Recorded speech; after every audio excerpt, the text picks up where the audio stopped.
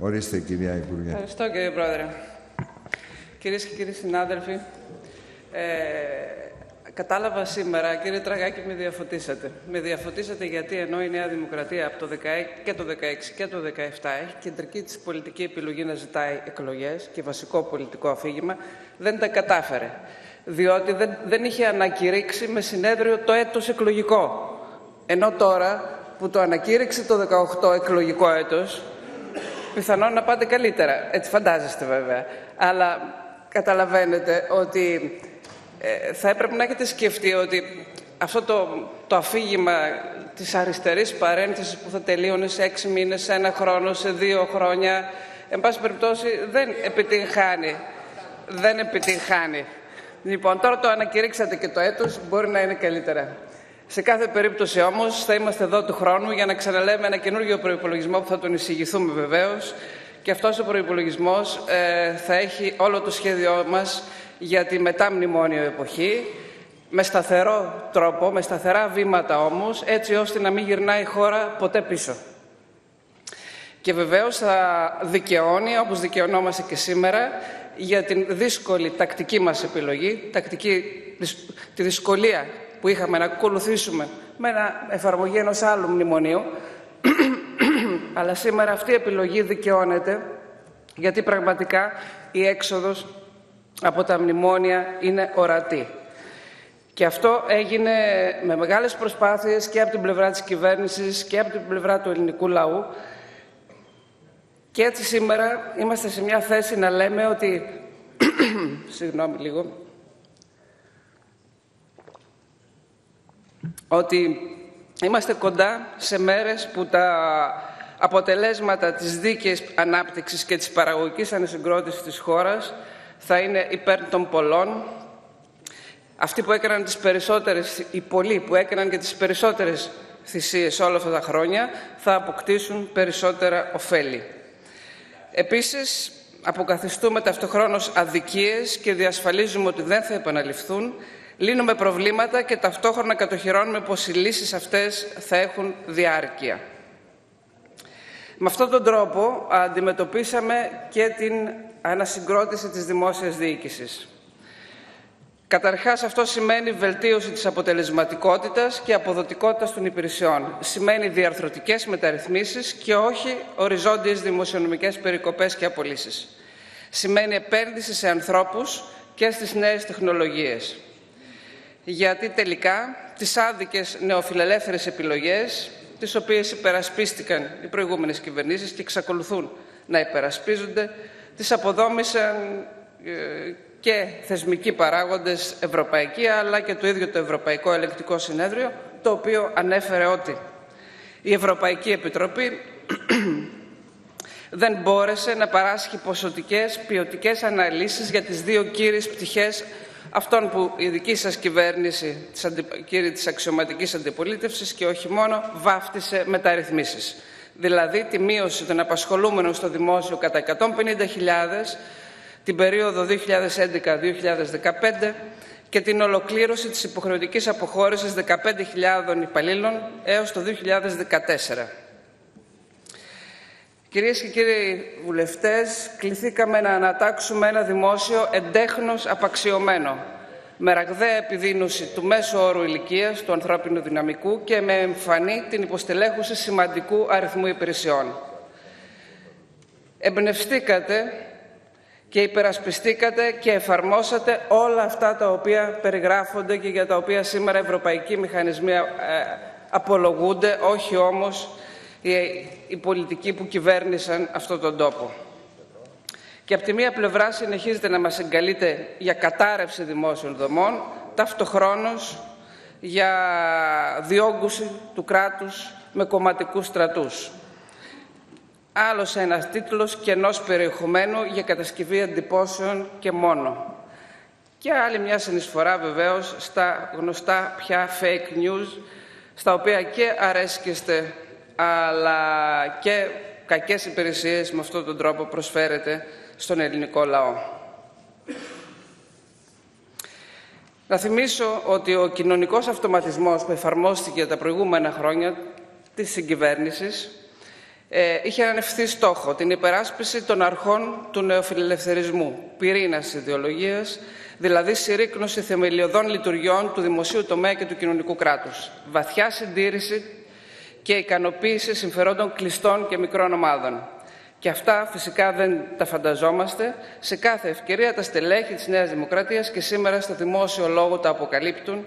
Μόλις χθες ακούσαμε τον πρόεδρο της Νέας Δημοκρατίας να επαναλαμβάνει άλλη μία φορά την απέχθεια των ιεροφιλελεύθερων πολιτικών προς κάθε τι δημόσιο. Ο πρόεδρος της Νέας Δημοκρατίας έχει μπερδέψει τον κινησμό και την αναλγησία με την ειλικρίνεια γιατί είναι τεράστια η απόσταση της σημερινής ηγετικής ομάδας της Νέας Δημοκρατίας από τις ιδεολογικές αρχές του κοινωνικού φιλελευθερισμού. Τι μας είπαν πάλι χθες λοιπόν σε αυτό το συνέδριο, ούτε λίγο ούτε πολύ, ότι ο κύριος Μητσοτάκης διεκδικεί για τον εαυτό του το ρόλο πια του Πρωθυπουργού Δημοπράτη από Υπουργός των Απολύσεων δήλωσε δημόσια την πρόθεσή του να εκχωρήσει κάθε τι δημόσιο στον ιδιωτικό τομέα. Φαντάζομαι ότι εννοεί την παιδεία, την υγεία, ελεγκτικούς μηχανισμούς, εποπτεία, τη διοίκηση, με κριτήριο την καλύτερη οικονομική προσφορά. Εκχωρώντας έτσι τις δομές, θυμάστε ότι είπε μέχρι και το Γενικό Λογιστήριο του κράτους, δεν το είπε χθες, το είχε πει σε προηγούμενη τοποθέτηση, σε ιδιώτε. Πρέπει να καταλάβετε κύριοι της Νέας Δημοκρατίας, της αξιωματικής αντιπολίτευσης, το κράτος και ο δημόσιος χαρακτήρας του στήθηκαν βήμα-βήμα διαχρονικά με αγώνες, οράματα, κόπους και θυσίες του ελληνικού λαού και δεν είναι φιλέτο προς πώληση. Δεν είναι ευκαιρία για αύξηση του ύψους λογαριασμών κάποιων σε φορολογικούς παραδείσους. Και βλέπουμε και έναν πιο συνειδητό ας πούμε, πολιτικό σχεδιασμό μέσα σε αυτά. Είδαμε το ερωτηματολόγιο που τέθηκε στα στελέχη, στα μέλη της Νέας Δημοκρατίας για να απαντήσουν επί ευκαιρία του συνεδρίου και είδα ένα ερώτημα που λέει ότι ρωτάει όταν προκυρήσονται διευθυντικές θέσεις στο δημόσιο να δίνεται η δυνατότητα να συμμετέχουν ως υποψήφοι και στελέχη του ιδιωτικού τομέα; Τι εννοεί ακριβώς γιατί δεν αντικαθεστούμε το σύνολο των υπηρεσιών με ιδιωτικές εταιρείες, δεν τελειώνουμε, το κλείσουμε. Α το πούμε καθαρά, ολοκληρωτικά. Διότι η ανιστόρητη αυτή στρέβλωση της φιλελεύθερης ιδεολογικής βάσης της παράταξης του 1974, που για δεύτερη φορά την τελευταία πενταετία επιχειρείται από την ηγετική ομάδα της Νέας Δημοκρατίας. Με αυτή την έννοια, αισθάνομαι υπερήφανη που μετά από τις δύο αυτές απόπειρες, το Υπουργείο Διοικητικής Ανασυγκρότησης εξακολουθεί ακόμη να υφίσταται και όχι μόνο να υφίσταται, αλλά το δυναμικό του δημοσίου να βρίσκεται στη θέση του και ο ρόλος του σταδιακά να αποκαθίσταται.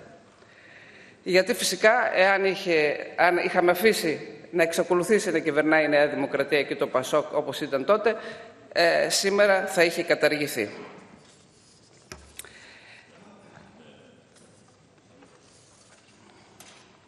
Κυρίες και κύριοι συνάδελφοι, ξέρετε ότι το κοινωνικό κράτος εκχυδαίζεται όταν η κοινωνία υποχρεώνεται να λειτουργεί με βάση κανόνες του ισχυρού, τους κανόνες της αγοράς, τους κανόνες των κερδών και των υπερκερδών και τη, τη θεοποίηση της λογικής των αριθμών και φυσικά των φορολογικών παραδείσων.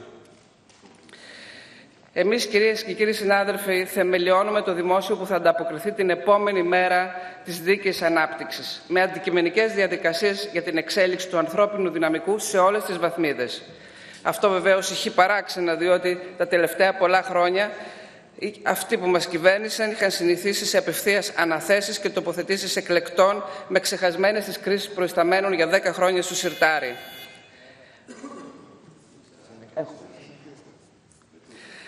Αντίθετα, εμείς ολοκληρώνουμε αυτές τις μέρες την τοποθέτηση των 21 Γενικών Διευθυντών Διοικητικού και Οικονομικού μέσω ΑΣΕΠ στα Υπουργεία και ακολουθούν οι θέσεις των θεματικών Γενικών Διευθυντών.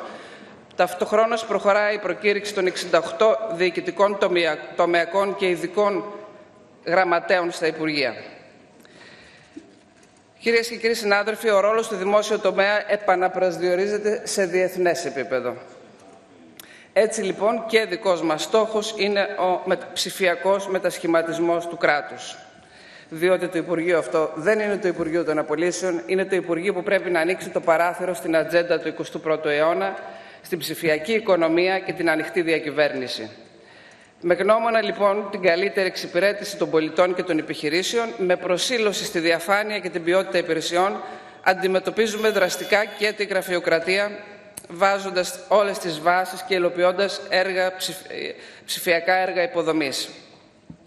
Συμβαδίζοντας με τις σύγχρονες ανάγκες, υλοποιήσαμε ως κυβέρνηση το G-Cloud, ένα σύγχρονο ψηφιακό αποθετήριο μέσω της κοινωνίας της πληροφορίας, ένα ψηφιακό κόμβο που θα φιλοξενεί με ασφάλεια και θα υποστηρίξει όλες τις δημόσιες υπολογιστικές εφαρμογές.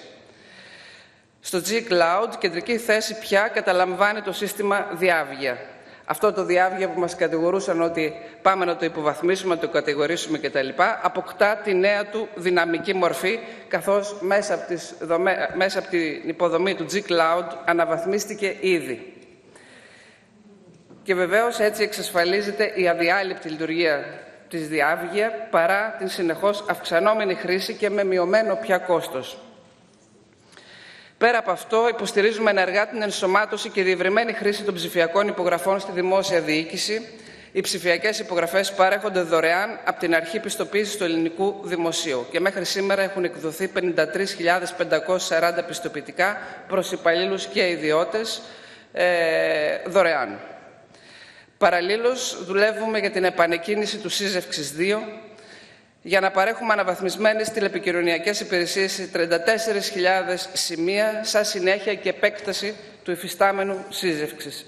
Ένα έργο που είχε ενταχθεί το 2007-2013 στο ΕΣΠΑ, 7-13, αλλά στη συνέχεια εγκαταλείφθηκε. Και παραλάβαμε ουσιαστικά τελματωμένο ένα εμβληματικό έργο, το οποίο βεβαίως και είμαστε αποφασισμένοι να υλοποιήσουμε. Ε, εκτός από τις υποδομές που ψηφιοποιούμε για τις λειτουργίες του Δημοσίου, αναβαθμίζουμε ήδη το Μητρό Ανθρώπινου Δυναμικού του Ελληνικού Δημοσίου, το πιο γνωστό σαν απογραφή. Δηλαδή μια online βάση δεδομένων του προσωπικού που υπηρετεί ε, το προσωπικού που υπηρετεί με οποιαδήποτε σχέση εργασίας ή έργου στο δημόσιο τομέα. Πατώντας σε αυτή τη βάση, υλοποιήσαμε το ενιαίο σύστημα κινητικότητας μια ψηφιακή πλατφόρμα για την επιτάχυνση των διοικητικών μεταβολών. Με ψηφιακά οργανογράμματα, περιγράμματα θέσεων εργασία που δημιουργήθηκαν επίσης για πρώτη φορά στην ελληνική δημόσια διοίκηση, δίνουμε τέλος οριστικό στις πελατειακές ορσφετολογικέ μετακινήσεις του προσωπικού στο δημόσιο. Μετακινήσεις που απαιτούσαν δεκάδες υπογραφές και φυσικά εκατοντάδες ανθρωπόρες. Σε αυτό το περιβάλλον προωθούμε επίσης το έργο της ηλεκτρονικής στοχοθεσίας. Στοχοθεσία που δεν επιβάλλεται αυθαίρετα από πάνω, αλλά προκύπτει από ανοιχτές διαδικασίες διαβούλευσης μέσω της Ολομέλειας Διεύθυνσης και Τμήματος. Φυσικά, στο ίδιο πλαίσιο ξεκινά από το νέο έτος και η ηλεκτρονική αξιολόγηση των δημοσίων υπαλλήλων, ώστε να γίνεται με μικρότερο γραφειοκρατικό κόστος. Γνωρίζετε άλλωστε όλοι ε, ίσως εκτός του Προέδρου της Νέας Δημοκρατίας, δεν το θυμόταν χθες στην τοποθέτηση, ότι η αξιολόγηση των δημοσίων υπαλλήλων έγινε πράξη ε, με, με τη δική μας κυβέρνηση. Και τώρα θα περάσουμε στην ηλεκτρονική αξιολόγηση μέσω του συστήματος απογραφή. Σχεδιάζουμε δηλαδή έργα ψηφιακά τα οποία διασυνδέονται μεταξύ τους και όχι αποσπασματικές νησίδες συστημάτων.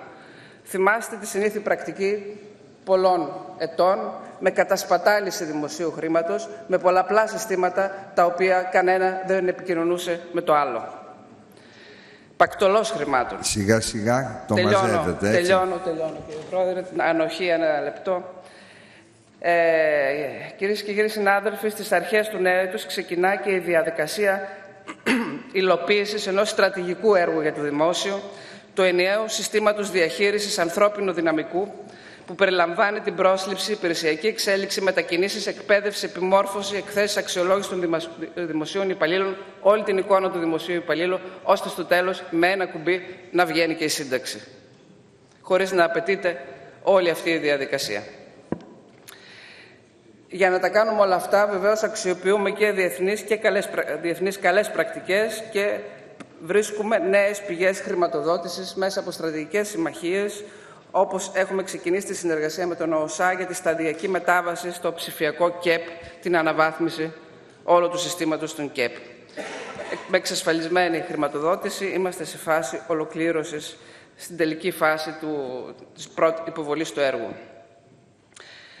Ε, και βεβαίως πρέπει να πω εδώ ότι κεντρικό ρόλο σε όλη μας την πολιτική είναι και η πολιτική των ανοιχτών δεδομένων που είναι στρατηγική μας προτεραιότητα γιατί ενισχύει τη διαφάνεια, μειώνουν διοικητικά βάρη και περαιτέρω χρήση των ανοιχτών δεδομένων οδηγεί σε νέες θέσεις εργασίας. Και επιπλέον, ένα τελευταίο, τελειώνω κύριε, κύριε Πρόεδρε, είναι το εμβληματικό έργο της, εθνι, της Εθνικής Πύλης Κωδικοποίησης και Αναμόρφωσης της Ελληνικής Νομοθεσίας. Ένα έργο τομή, ε, ένας κόμβος που θα συγκεντρωθεί το σύνολο της πληροφορίας για την κωδικοποίηση και αναμόρφωση νομοθεσίας στη χώρα. Έχει υποβληθεί ήδη το τεχνικό δελτίο προϋπολογισμού 1,8 εκατομμυρίων ευρώ και μέσα στο 18 το έργο αυτό υλοποιείται. Είναι και πολλά άλλα, αλλά δεν με παίρνει ο χρόνος να αναφερθώ. Όμως ε, το Υπουργείο αυτό, με την απαραίτητη συνδρομή του Υπουργείου Ψηφιακής Πολιτικής, θα υλοποιήσει όλα τα αναγκαία έργα για τον ψηφιακό μετασχηματισμό του κράτους. Εκτιμώ ότι σε ένα χρόνο από σήμερα, το 2018, όταν θα συζητάμε για τον επόμενο προπολογισμό, το δημόσιο πια θα έχει μια τελείως διαφορετική εικόνα ώστε πραγματικά να αποτελέσει το όχημα για τη μετάβαση σε μια άλλη εποχή. Σας ευχαριστώ.